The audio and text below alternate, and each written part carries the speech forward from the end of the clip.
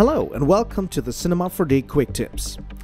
Did you know that when you have an object selected and you double click with Control or Command on Mac on an arrow, that you actually lock this axis, you can see it turns orange, and no matter what you do in the viewport, it will always move only in this direction.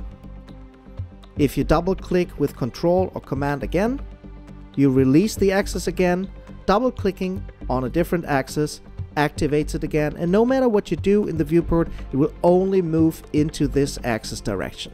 If you double click with control or command on one of these gizmos here then you restrict for example the scaling in this case onto a plane. You can see it resizes in direction X and Z but not in direction Y.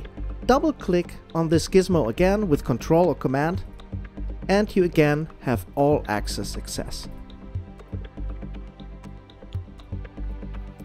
Another thing that you can do is that when you're, for example, in the scale tool, you can hold down shift and just scale into the other two axis directions that aren't selected.